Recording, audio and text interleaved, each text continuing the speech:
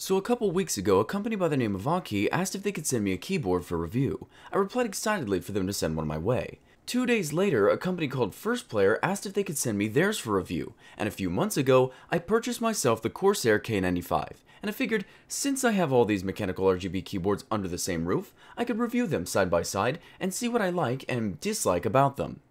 Let's start off with Aukey. This keyboard is called the KMG4, which is not a very sexy name, but really does fit the industrial look it has going for it. The top plate is made of aluminum, with the keys and bottom plate being made of plastic. The plastic is quite tough though, and I feel this keyboard could probably take a beating. The keyboard came with a manual, which I did read, and trust me, was definitely worth it, and I'll tell you why later. It came with a disc, which I presume has the drivers and software you can use to customize the keyboard. The keyboard comes with a 24 month warranty, which I appreciate, and lastly, a key puller, which is really nice, and not something my last two RGB keyboards came with. I'm actually really glad this was included. Now let's discuss the lighting.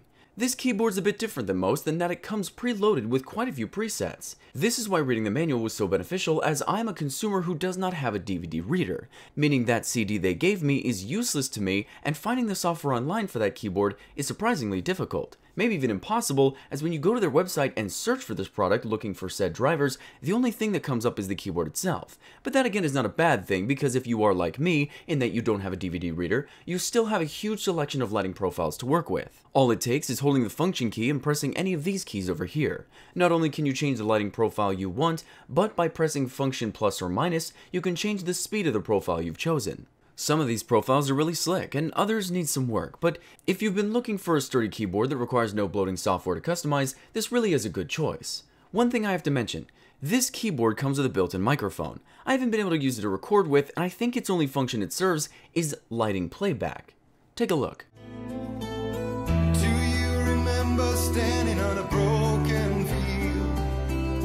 White crippled wings beating the sky before we move on to the other keyboards, I'd like to talk preferences. There are three things that I personally look for when shopping for a mechanical keyboard, and I have yet to find any keyboard that has all three of those things I crave.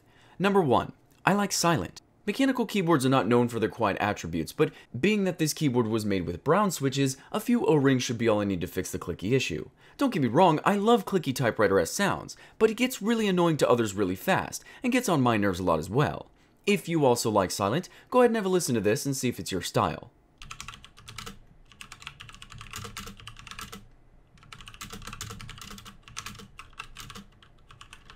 The second thing I look for is lighting profiles. I always liked RGB lighting. It made me feel like my build was good no matter what was inside it. If I brought a friend over who was familiar with tech, he would say, oh hey, nice computer. If I brought over a friend who didn't know anything about tech, he too would say, whoa, hey, nice computer. I think is a win-win scenario, and I've always been one for pretty aesthetics. When it comes to this keyboard, I'd say it passes this area with flying colors. Not only are the keys very bright, the colors are also very crisp and mostly very smooth. But the thing I need to give props to the most in this area is not forcing me to download any software and able to use the lighting profiles.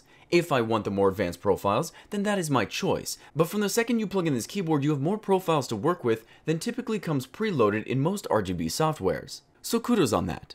The last thing I look for is macros. I like the ability to open programs with the touch of a button, to map keys in games for ease of use. Not a lot of keyboards come with separate dedicated macros for this. Now, this keyboard, through the function key, has a lot you can automatically do from the get-go. All of the F keys have dedicated settings like volume up and down, mute, pause, play, but other than that, you don't have any dedicated macro keys. Now, with research, I have found that you can make your own custom macros with the software included, which is great. But, and this is just me nitpicking, I like having dedicated buttons. Now for the real cons.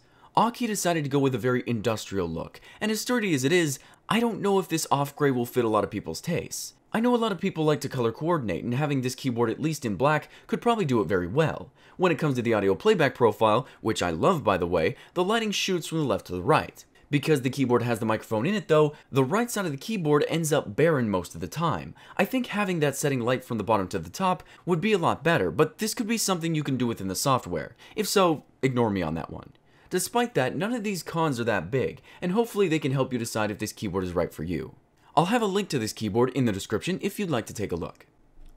Let's move on to First Player's Fire Rose keyboard. This keyboard has a metal top shell with plastic keys and bottom, and is much heavier than Aukey's KMG4.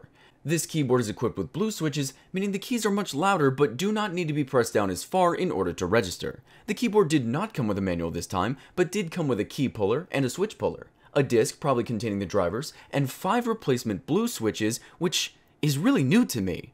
I have never purchased a keyboard that came with extra switches. Extra keys, sure, but this was a bit of a surprise. Speaking of surprise, First Player boasts that both of their FireRose keyboards are waterproof. I'm not going to test that, but I can definitely appreciate that kind of thought. There's nothing more annoying than spilling a drink on your keyboard and ruining it, so if these are in fact waterproof, that's very cool. Let's get into the lighting here. This keyboard has very similar lighting functions to the Aukey that we just tested in that the function button handles all of your lighting.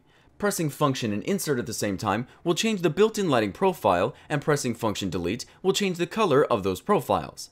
There's also a very simplistic editing mode where you can change any key to any color you want so long as that color is red, green, blue, purple, yellow, turquoise, white, or nothing. To be honest, the editor mode is so simplistic I can't ever see myself using it. One could say, well Barry, what about for MMO lighting or things like that? But pressing function in the numbers 1 through 5 will give you many different lighting profiles for those kinds of games. That's a plus, and I guess the editor mode is nice to have just in case, but I think it could use a bit more kick in order to be useful. I can't give it too much flack though, the lighting is quite nice and very customizable on its own. Using the function key and the arrow keys lets you decide how fast the lighting profiles are and how bright the keyboard shines.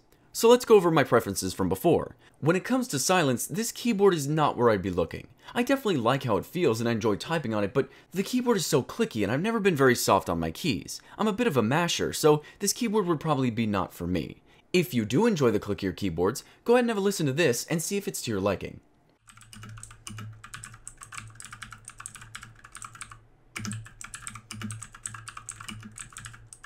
When it comes to the lighting, the colors are bright, adjustable, and customizable. It seems a bit more restricted than other keyboards, but for the price, it's only just a step below.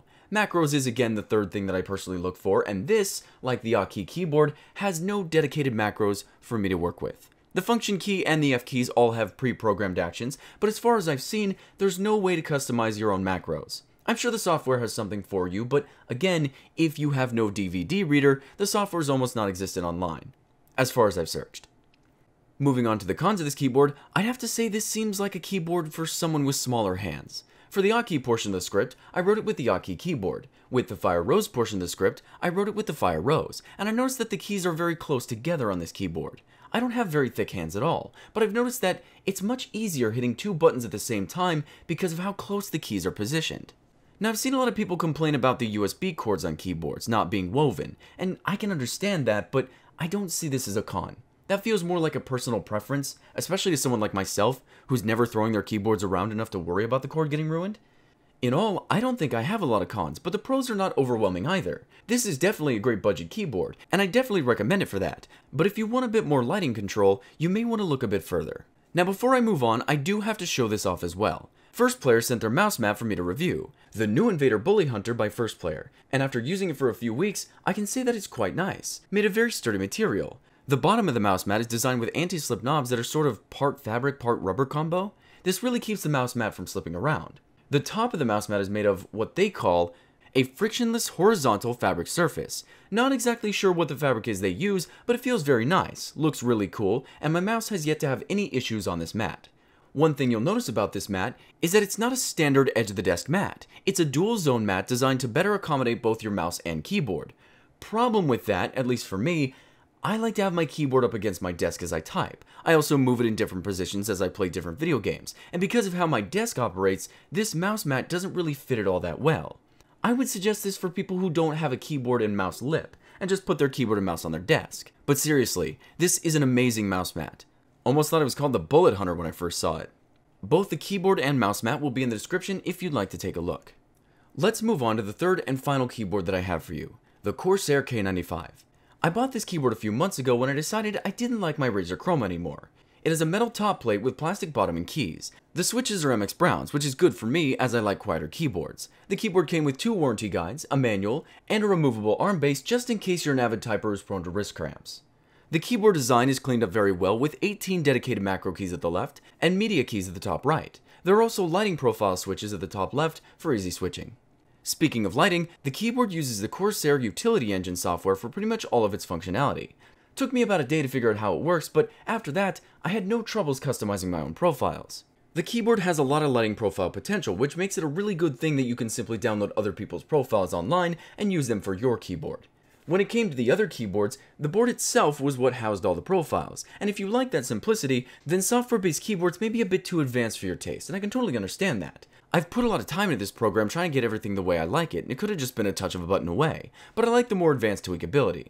Other than lighting, you have a lot of options available through the G keys on the left. I have the first 6 G keys opening various programs for me. This is very useful when I'm in a video game and I decide I want to start recording. All I have to do is press the button, let the program launch, and go. When it comes to the three preferences, this keyboard is very quiet. Not so quiet that I didn't have to put O-rings under each and every key, but brown switches are generally the way to go when trying to get a silent mechanical keyboard. When it comes to the lighting, it's not always super easy to use, but I definitely like all the variation you get. Where this keyboard really shines though, is in the macros. 18 macros is more than I will ever need, and I love that. They're not only super convenient, but there's almost no settings missing in the software in terms of using them. However, this keyboard is not perfect. There are quite a few things that really annoy me about it. Now, there are definitely more cons for this keyboard than there were for the others. The first one is that the audio visualizer only works if you have the Corsair Void headset, meaning that fun little light up while music plays profile just doesn't work with any old speakers. Same with the Void playback. This keyboard will not register your voice unless through that headset. Now, I don't like using headsets, and this feels a little restrictive. Hey there, buddy. Want to use our cool features? Buy more of our cool stuff. Even Razer's visualizer worked through any playback device, so that kind of annoys me. Secondly, there's no pass-through on this keyboard. There is on the Platinum Edition, but not on here. If you look on the back, however, you will see a BIOS switch. This means that if you ever need to get into the BIOS and something is stopping you, all you gotta do is flip that switch while your computer's rebooting, and it'll get you there. I like this, but it's definitely not as useful as a USB would be, or audio jack. This wouldn't be a big deal if there weren't two USBs that I had to plug in for the keyboard. Another thing that bothers me is if you look at the top of the board, you'll notice the whole top layer is made of metal, except this far left side here where the macros are. For some reason, those are above a plastic base that the rest of the keyboard is made up of. Not sure why they did that, and it just looks a bit out of place. The last thing that really annoys me about this keyboard is every so often, my lighting profiles will disappear. I thought it was something to do with my internet cutting out, as I had lost my profiles every time my internet went out. But every so often, I'll turn my computer on and the profiles will just have disappeared. If you make your own profiles, I definitely recommend exporting them to a folder just in case they disappear. That way, you can just import them later if and when this happens. This keyboard will also be in the description if you'd like to take a look for yourself. I have yet to find a keyboard that is 100% perfect for me, and I know that day has to exist. The cool thing about these reviews is that even if I hate something about these keyboards, you could very much like that. So I hope this was helpful to you. I'd like to thank Aukey and First Player for sending their keyboards out for review. That was really cool of you guys, and I really enjoyed the time I had with them. Corsair, I did purchase your keyboard, but I'm getting really annoyed with my key lights deleting on me every now and then. Please fix that. I mean, how would you like it if you were trying to get to work, but you couldn't even open the door because your key switches? I rest my case.